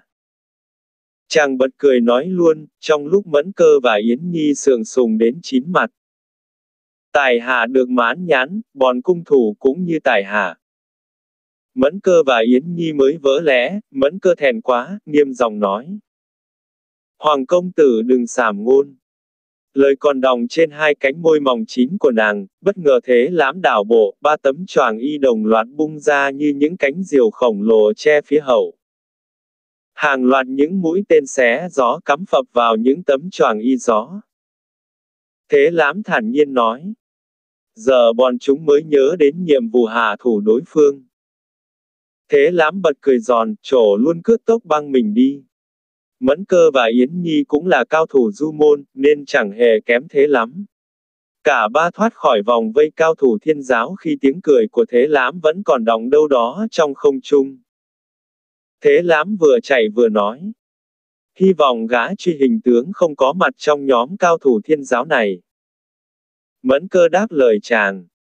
Nếu có mặt gã, chúng ta quyết một trận sống còn. Thế lãm liếc xéo qua mẫn cơ. Thật là khó xử. Sao khó xử? Tài hạ sợ y chỉ biết hồn mặt ra nhìn nhị vị mà thôi. Truy hình tướng dù có bản lĩnh nghiêng trời lỡ đất, nhưng nhất thiết cũng không ngoài bản lĩnh một nam nhân. Hoàng công tử nói vậy có ý gì? Ẩm thiên tử anh hùng túy, mỹ diện đào hoa anh hùng lụy. Đối với những nàng kỹ nữ thì chẳng biết sao, nhưng với Mẫn Cơ và Yến Nhi lời nói của Hoàng Thế Lãm chẳng khác nào dầu sôi đổ xối lên mặt hai nàng. Vốn đã thèn thùng vì sự hở hang bất đắc dĩ của mình. Mẫn Cơ và Yến Nhi thoáng chốc nổi giận, nhất là Mẫn Cơ. Đang trổ du hành bộ pháp sau lưng Hoàng Thế Lãm, nàng bất ngờ tăng cước tốc, trổ luôn cầm nã thủ thộp vào gáy Hoàng Thế Lãm. Với thế công này, mẫn cơ đoán chắc sẽ khống chế được đối phương không cho thế Lãm trở tay. Ngọc thủ của nàng chỉ còn cách cái gáy của thế lãm khoảng một gang tay thì đã bị trận lại, chỉ một cái xoay người trở bộ tưởng chừng như thế lãm chỉ tình cờ vô ý mà thôi. Nhưng ngọn trào công suất kỳ đánh ra đã bị thế lãm gạt ngang, vô hình trung mẫn cơ không kịp trở bộ đâm sầm vào khoảng tràng. Thế lãm choàng tay đỡ lấy tiểu yêu của nàng, khẽ nói. Mẫn cô nương cảm kích lời nói của tài hạ à. Thế lãm vừa nói vừa hôn lên chán mẫn cơ, rồi nói tiếp. Tài hạ không ngại tình cảm của cô nương đâu. Mẫn cơ sững sờ đứng ngây người. Yến Nhi chừng mắt nhìn thế lãm Nàng lắp bắp nói. Sao, sao kỳ vậy? Thế lãm nhún vai. Tỷ tỷ của Yến cô nương để tâm đến tài hạ rồi, đâu có gì là kỳ. Tài hạ thường hay bị nữ nhân để mắt tới. Mẫn cơ vùng ra thối luôn về sau nửa bộ. Hoàng công tử đừng ngoa ngôn. Mẫn cơ này chẳng để ý đến các hạ đâu. Thế lãm nheo mày. Ái trà thế thì thật là tài hạ có lỗi. Mẫn cô nương miễn thứ, miễn thứ. Chàng quay lưng băng mình trổ khinh thuật bỏ đi tiếp. Mẫn cơ và Yến Nhi nhìn nhau, cả hai không nói nhưng cảm nhận một điều gì đó rất khác thường đang xảy ra trong nội tâm của hai nàng, nhất là mẫn cơ. Cả hai im lặng đồng loạt trổ du hành bộ pháp dượt theo thế lãm Yến Nhi hỏi mẫn cơ. Tỷ tỷ nhận định gã công tử này thuộc hàng người thế nào? Có lẽ y là người tốt. Thế mà khi nãy tỷ tỷ toan đánh lén người ta. Tỷ tỷ quá giận mà thôi. Hai nàng mãi đối đáp về hoàng thế lãm mà quên mất trang phục trên người, đến lúc giận mình đã ra đến cái quan, và chẳng thấy tông tích thế lãm đâu. Mẫn cơ giáo giác nhìn quanh. Chết rồi, y đã bỏ chúng ta rồi. Yến Nhi cũng chẳng khác gì mẫn cơ tỏ vẻ khẩn trương ra mặt. Y đang đi cùng với chúng ta, bất ngờ bật vô âm tích như chui xuống đất. Hay đã bị rơi vào bẫy thiên giáo rồi. Nàng nhìn mẫn cơ.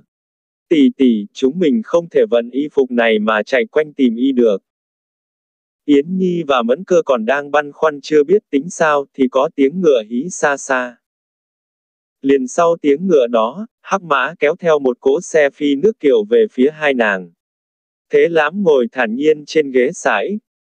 Dừng xe trước mặt Mẫn Cơ và Yến Nhi thế lãm mỉm cười nói. Thỉnh nhì vì tiểu thư lên xe kẻo nam nhân cả Trung Nguyên đều trở thành kẻ dài khờ bởi Mỹ sắc giai nhân. Vào khoang xe rồi, Mẫn Cơ và Yến Nhi mới biết thế lám đã để sẵn hai bộ y phục. Mẫn Cơ nhú đầu ra nói với chàng. Hoàng công tử đã lấy cỗ xe và hai bộ trang phục này ở đâu? Thế lám nhướng mắt. Nói ra thật khó vô cùng. Làm sao khó? Vì tài hạ khó nói. Nói cho chúng tôi mà công tử cũng khó nói à. Sợ nhì vì cô nương nhảy đồng lên thôi. Công tử yên tâm cũng như lúc nãy, chắc công tử cũng dĩ bất tùng quyền.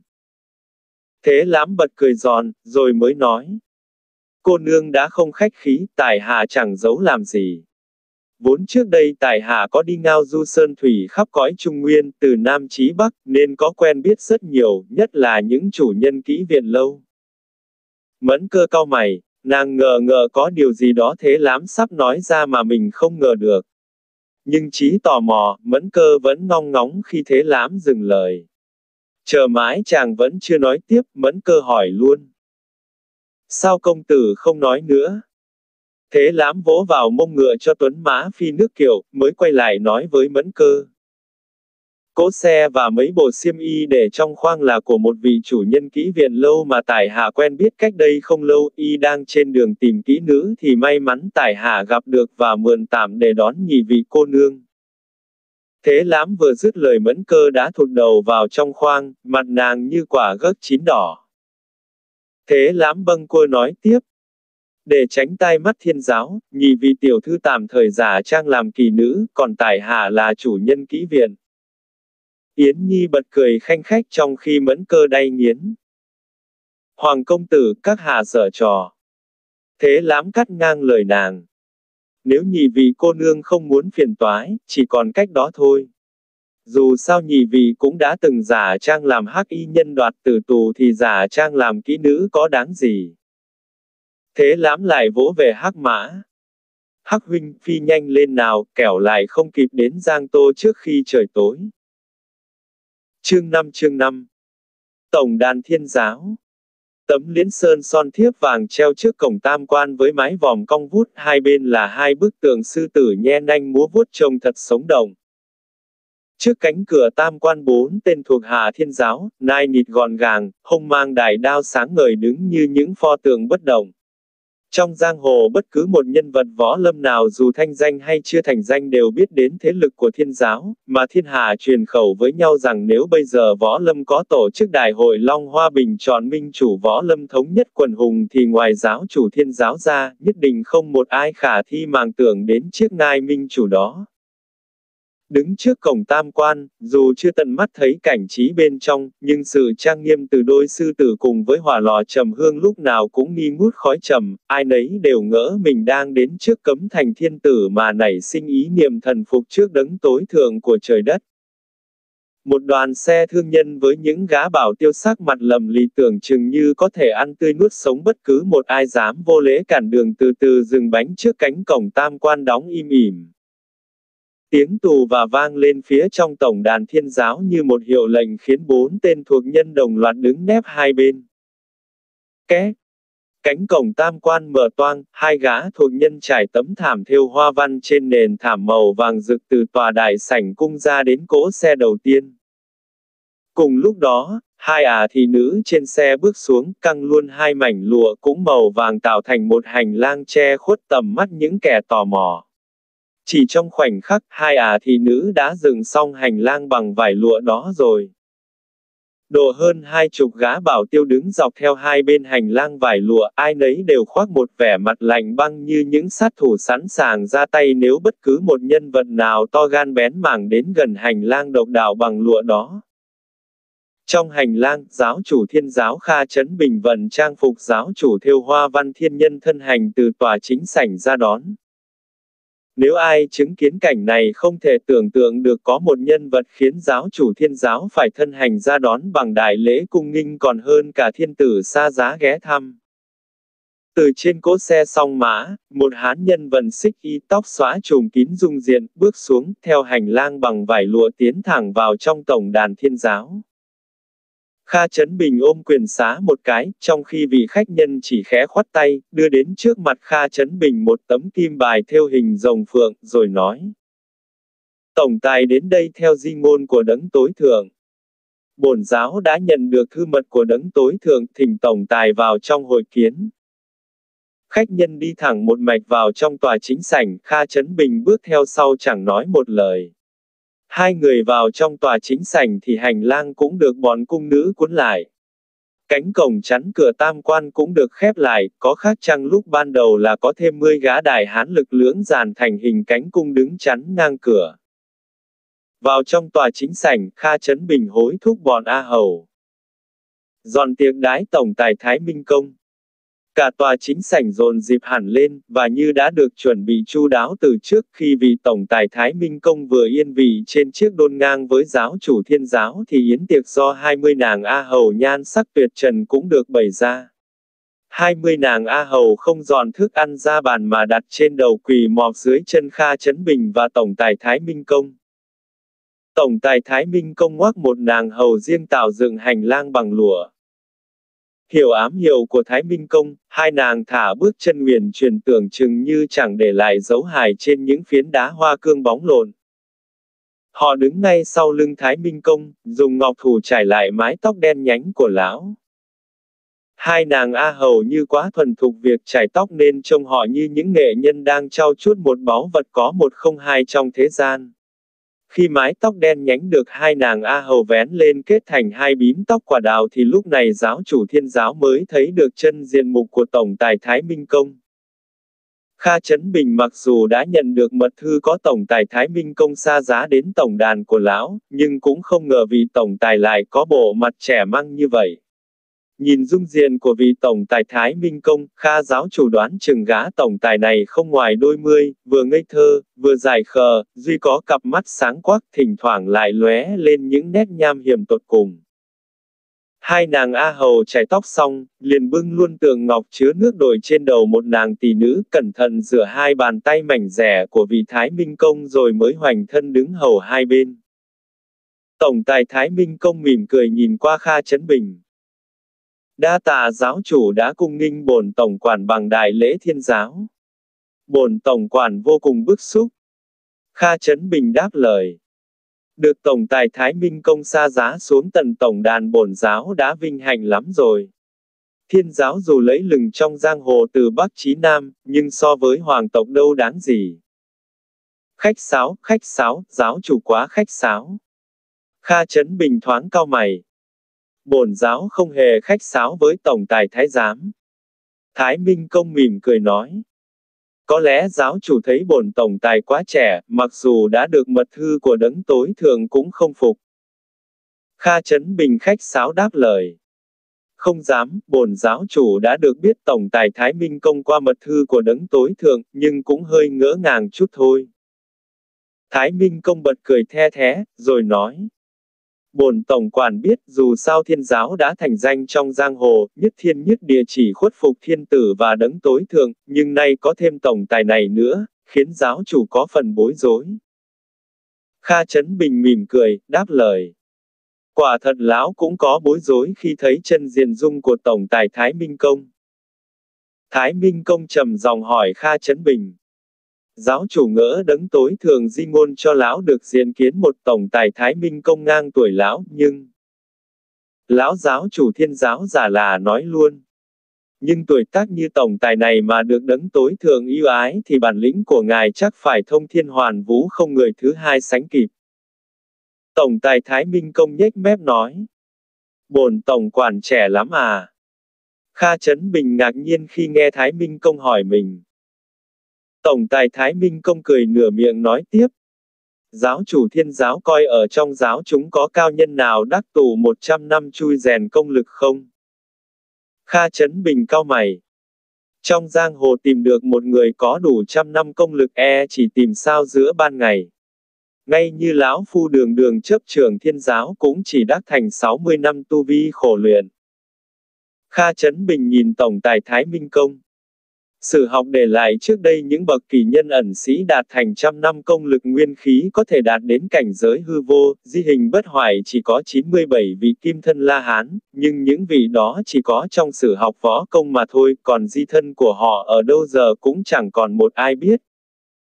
Ngoài 97 vị kim thân La Hán Tây Tạng, còn có đạt ma sư tổ thiên thiên tuế thần tăng, thiên ngoại ma tôn, cổn long vương, tứ đại thiên vương của Ngọc Bảo, có thể kể thêm nhất đăng thượng nhân, người cuối cùng. Tổng tài Thái Minh công nhếch mép từ từ xoay ngửa bàn thủ xinh xắn của mình. Cái xoay tay của Tổng tài Thái Minh Công như một động tác bình thường nhưng cả đĩnh rượu nặng 10 cân đội trên đầu nàng kỳ nữ từ từ nhấc bổng lên. Nàng kỳ nữ thấy việc lạ, cố bấu hai tay vào đĩnh rượu, nhưng đĩnh rượu như có thần lực nhấc bổng nàng A Hầu lên luôn. Tổng tài Thái Minh công đắc ý, mỉm cười rồi nói. Bồn tổng quản màn phép thưởng thức hào tử của giáo chủ. Nàng A Hầu thất sắc buông hai tay ra, đĩnh rượu không rớt xuống đất mà là đà bay về phía Kha Trấn Bình. Tổng tài Thái giám ôn tồn nói tiếp. Tiền chủ hầu khách thỉnh giáo chủ. Mục kích tận mắt thấy nội công hấp lực của Tổng tài Thái Minh Công, Kha Trấn Bình giáo chủ cứ lỏ mắt nhìn trừng trừng đĩnh rượu như người đang mắc bình mộng du. Tổng tài Thái Minh Công cười khẩy, nói. Giáo chủ. Kha Trấn Bình giận mình như vừa thoát ra khỏi giấc mộng ảo, bao nhiêu ý niệm khinh thường Tổng tài Thái Minh Công bị xua ngay tất cả ra ngoài tâm trí lão, thay vào đó là sự cẩn trọng được hun đúc bởi kinh nghiệm từng trải ngoài giang hồ. Kha Trấn Bình định tâm từ tốn nói. Đa tạ tổng tài. Lão vừa nói vừa vận công đến tầng thứ 12 huyền huyền giáp công, đôi song thủ chuyển sắc qua màu xám quét, từ từ đón lấy đĩnh rượu. Vừa đón đĩnh rượu, Kha Trấn Bình vừa nghĩ thế nào gã tổng tài Thái Minh Công cũng thì oai dùng hấp lực kéo đĩnh rượu lại đằng thi thố nội công với lão, nên phải cẩn trọng kẻo bé mặt. Mặc dù ý niệm nghĩ như vậy, nhưng vẻ bề ngoài Kha Trấn Bình vẫn giữ nét ôn nhu của chủ nhân, không tỏ ra có chút khẩn trương. Bên kia Tổng tài Thái Minh Công chỉ nhẹ điểm một nụ cười trên hai cánh môi mỏng dính. Nụ cười của gã Tổng tài Thái Minh Công càng khiến ý niệm trong đầu Kha Trấn Bình đoán chắc như đinh đóng cột. Lão dứt khoát hộp xong thủ vào đĩnh rượu. Bàn thủ vừa thộp vào đĩnh rượu, Kha Trấn Bình thốt lên một tiếng ngạc nhiên. Y. Lão không ngạc nhiên sao được khi cái đĩnh bằng ngọc thạch bèo giá như bùn, nhanh chóng biến thành những hạt bụi rơi vãi lên trang phục của lão. còn rượu trong đĩnh đã đông cứng thành một khối băng trong suốt. Kha Chấn Bình vô hình trung ôm khối băng lạnh giá đó, lão giận mình bởi khí băng hàn từ khối rượu đóng băng khí, song thủ đã vận huyền huyền giáp phòng bị vẫn bị rát bỏng vì lạnh. Buông khối băng đó thì thất lễ với khách, còn ôm khư khư thì quả là bứt rứt vô cùng, nhưng nhất thời vẫn chưa tìm cách gì để lão có thể buông tảng băng trong thế giữ thường phong. Chính vì thế mà Kha Chấn Bình quyết định dùng hết nội ra công lực giữ khối tử băng trong tay mình, sắc diện của lão chuyển sắc đỏ gay vì không thể giải tỏa được hóa công.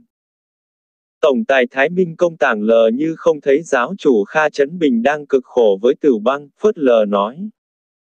Bồn tổng quản rất thích dùng tử băng, không ngờ được Kha giáo chủ thết đái tử băng nội ra tu vi. Bồn tổng quản bội phục.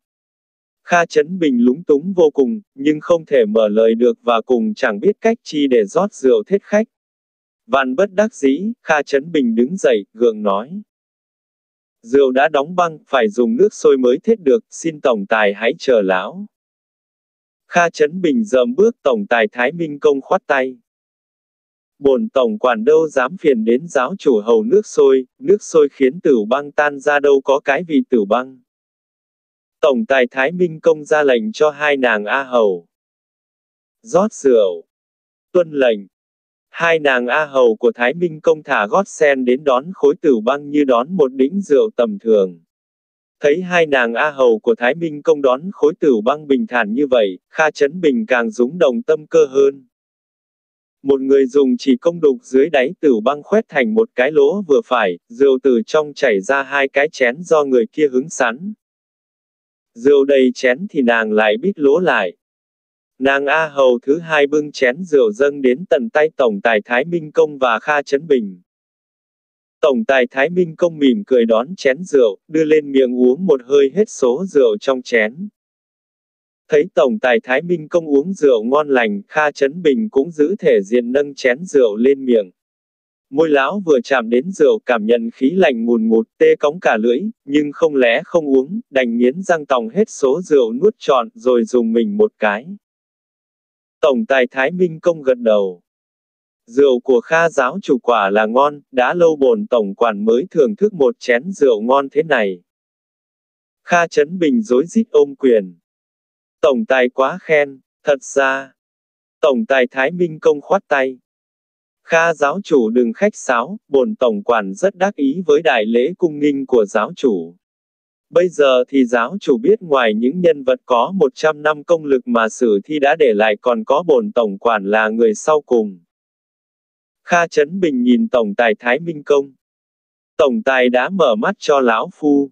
Lão phu khâm phục vô cùng. Không ngờ tổng tài còn trẻ tuổi mà nội gia hầu đạt đến cảnh giới vô thượng. Lão Phu có gặp kỳ duyên mà chui rèn đến chết cũng không thể so sánh với tổng tài. Kha Trấn Bình vừa dứt lời, tổng tài Thái Minh Công bật cười the thế. Ai cha, Kha giáo chủ đoán xem bổn tổng quản hôm nay được bao nhiêu niên kỷ. Kha Trấn Bình ngượng nghịu. Nếu lão đoán không lầm, tổng tài bỏ qua. Bổn tổng quản đâu thể bắt bẻ chủ nhân chứ. Được, lão phu xin nói. Xem dung diện của tổng tài, lão đoán năm nay tổng tài chỉ khoảng hai thập niên là quá rồi. Ha, ha, ha, ha, ha, ha, ha. Tổng tài Thái Minh Công bật ra chàng cười nắc nẻ, các nàng hầu của thiên giáo bị tiếng cười của Tổng tài Thái Minh Công phá thính nhĩ khiến họ té lăn dưới sàn gạch đều trợn mắt như những con cá bị mắc cạn miệng hớp hớp rồi bất tỉnh. Kha Chấn Bình dù sao cũng có nổi ra công lực thường thừa nên có thể dùng huyền huyền giáp bế thính nhĩ ngăn không cho xung lực thanh âm công phá nên vẫn bình thản, chẳng có biểu hiện gì đã bị nổi thương. Tổng tài Thái Minh công cắt chàng tiếu ngạo tràn ngập nội khí thanh âm từ tốn nói. Kha giáo chủ quá khách sáo. Nếu bồn tổng quản nói thật sự sợ Kha giáo chủ vẫn không tin. Bồn tổng quản đến nay cũng đã ngoài 90 niên kỷ rồi. Kha Chấn Bình há hốc miệng, như vừa nghe một câu nói lồng ngôn của người điên nào đó. Tổng tài Thái Minh Công nhếch mép nói tiếp. Thật ra Kha giáo chủ nhìn lầm cũng đúng thôi, bởi chân nguyên của ta là sự hòa hợp âm dương nguyên khí tù thành, nên dung diện ví như kim cương bất hoại, không thể sớm tàn phai như những người luyện võ công tầm thường. Kha Trấn Bình nghe Tổng Tài Thái Minh Công nói xong liền xá dài một cái tâm phục khẩu phục, lão mới cất dòng sùng bái tán dương. Không ngờ Tổng Tài là cao nhân ẩn sĩ, như rồng thiên chỉ trăm năm xuất hiện một lần. Kha Trấn Bình hầu sinh khảo ý, có gì xin Tổng Tài miễn chấp, miễn chấp. Tổng Tài Thái Minh Công rời chàng kỷ đỡ lấy Kha Trấn Bình. Ây, Kha giáo chủ đừng khách sáo, đừng khách sáo. Dù sao bổn tổng quản cũng là khách và chúng ta cùng là người nhà phụng sự đấng tối cao. Đa tạ tổng tài đã có lời. Kha Trấn Bình lắc quả chuông vàng. Hàng tỷ nữ trên 20 người bước vào tòa chính sảnh, lão chỉ bọn tỷ nữ nằm xếp lớp dưới nền nhà phẩy tay một cái rồi nói. Dọn dẹp hết thết đài yến ra. Bọn cung nữ hối hả khiêng những người ngất xỉu ra ngoài, còn ai còn chút tri thức thì cố gượng lên bước ra ngoài. Tổng tài Thái Minh công đón tử băng trên tay hai nàng hầu của lão rồi ngửa cổ uống một hơi trông thật sảng khoái. Đĩnh tử băng càng lúc càng nhỏ dần và khi tổng tài Thái Minh công ngưng uống thì tử băng chỉ còn vòn vẹn như một quả trứng gà trong bàn thủ của lão. Thái Minh công gật gù. Rượu thiên giáo quả là ngon, bồn tổng quản đắc ý vô cùng. Kha Trấn Bình nhìn Thái Minh công uống tử băng mà lục phủ ngũ tàng của lão muốn đông lại, lạnh lẽo vô cùng. Kha Trấn Bình khẳng khái nói luôn. Hảo tử trong thiên giáo có rất nhiều, để hậu nhân sai nữ nô mang lên phục dịch tổng tài. Tổng tài Thái Minh công khoát tay. Ây thiên môn giáo chủ đừng khách sáo. Bồn tổng quản sẽ cùng với giáo chủ đối ẩm về sau. Giờ chúng ta sẽ vào việc chính mà đấng tối thượng đã di ngôn cho bồn tổng quản đến đây hội kiến với giáo chủ. Kha Trấn Bình dối rít. Bồn giáo chủ đang chờ nghe những ý hay của tổng tài. Tổng tài Thái Minh Công nhếch môi tỏ ra một bậc trưởng thượng.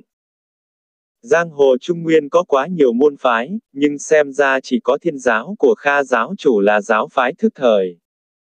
Cười khẩy một tiếng, Thái Minh Công nói tiếp, Tổng quản ta đoán chắc một ngày gần đây Kha giáo chủ được sự giúp đỡ của ta và đấng tối thượng, nhất định sẽ là người đứng đầu võ lâm trung nguyên. Kha Trấn Bình này lúc nào cũng ghi nhớ công đức của đấng tối thượng. Nếu như không được sự yêu ái của người, Kha Trấn Bình này giờ cũng chưa hẳn được yên vị trong thiên giáo này.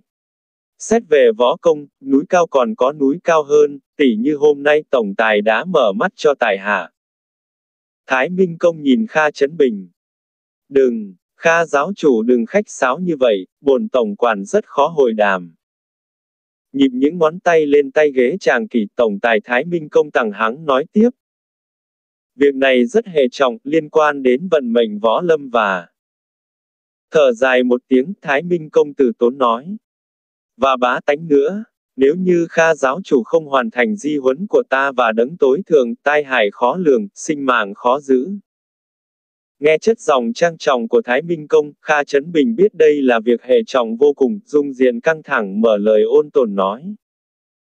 Thỉnh Tổng Tài cho biết tường tận mọi việc thiên giáo phải hành động. Tổng Tài Thái Minh Công Tằng hắng nói. Thiên giáo phải hạ thủ cho được một người. Tổng tài cứ nói, kẻ đó là ai, dù y có ba đầu sáu tay, Kha Trấn Bình này cũng sẽ mang đầu gã về dâng cho tổng tài. Phải chăng tổng tài nói là Bạch Hoa Lan? Tổng tài Thái Minh Công khoát tay, lắc đầu. Không phải Bạch Hoa Lan, giết người đó không phải hành sự ngay lúc này. Đấng tối thường và bổn tổng quản đã dự trù tất cả rồi. Kha giáo chủ chỉ thực hiện từng bước theo kế hoạch sắp xếp của ta mà thôi. Ngay bây giờ, Kha giáo chủ chọn trong thiên giáo những tay cao thủ tuyệt luân, có võ công xuất quỷ nhập thần thành lập đội truy sát để hàm thù võ công của hai cao đồ bổn nhân. Thái Minh Công chỉ hai nàng A Hầu. Chu Cẩm Ngọc và Hà Tú Anh sẽ ở lại đây giúp Kha giáo chủ huấn luyện đội truy sát. Khi nào cần thiết thì chúng ta điều động đội truy sát theo di lệnh của ta. Tổng tài và đấng tối thường lo chu đáo quá, Kha Trấn Bình này chẳng biết nói gì hơn, chỉ biết cúi đầu tuân phục mà thôi. Kha giáo chủ lại khách sáo nữa rồi. Trong giang hồ ngoài thiên giáo ra, bổn tổng quản và đấng tối thường không tin vào bang phái nào cả. Thái Minh công ngoác Chu Cẩm Ngọc và Hà Tú Anh. Hai người ở đây giúp đỡ Kha giáo chủ. Cả hai đồng ôm quyền xá dài. Tuân lệnh tổng tài. Thái Minh công quay lại Kha Trấn Bình. Kha giáo chủ nhớ chăm lo chu đáo cho họ. Kha Trấn Bình dối rít Tổng tài đừng lo, Kha Trấn Bình này sẽ lo chu toàn cho nhị vị cô nương. Thái Minh Công mỉm cười. Có Chu Cầm Ngọc và Hà Tú Anh thiên giáo của Kha giáo chủ như rồng mọc cánh, với vùng trong thiên hạ không còn e rẻ một ai nữa. Kha chấn Bình phấn chấn ra mặt. Lão ngập ngừng một lúc mới trang trọng mở lời hỏi Tổng tài Thái Minh Công. Tổng tài có thể nói cho hạ nhân biết một điều để giải tỏa bao thắc mắc bấy lâu nay. Điều gì? Hạ nhân muốn hỏi, muốn hỏi có phải tổng tài chính là truy hình tướng của đấng tối thường không? Thái Minh công ngửa mặt cười sằng sặc, chàng cười của y tiềm ẩn một nội gia công phu không thể nào tưởng tượng được. Âm thanh khí âm như kết thành những tiếng sấm trời ngắt đoạn xoay vòng trong đại sảnh mà Kha Chấn Bình ngỡ nó sắp làm đổ sập cả tòa nhà kiên cố của thiên giáo. Cắt chàng cười đó, Thái Minh công nghiêm giọng nói. Khi nào ấn soái trở về với đấng tối thượng, Kha giáo chủ mới biết truy hình tướng là ai. Vậy Hoàng Thế Lãm không phải là truy hình tướng sao? Việc chưa đến, Kha giáo chủ đừng hỏi. Tổng tài Thái Minh công bước xuống tràng kỷ. Bồn tổng quản muốn được khuây khỏa một chút, Kha giáo chủ chắc không nề hà. Kha Trấn Bình dối rít hẳn lên. Không, không, trong tổng đàn thiên giáo có hoa viên, so với nơi cung nội thì chẳng bằng, nhưng so với ngoài giang hồ thì không có nơi nào sánh bằng. Thỉnh tổng tài ngao lâm để khuây khỏa. Đa tà Kha giáo chủ đã vì bổn nhân.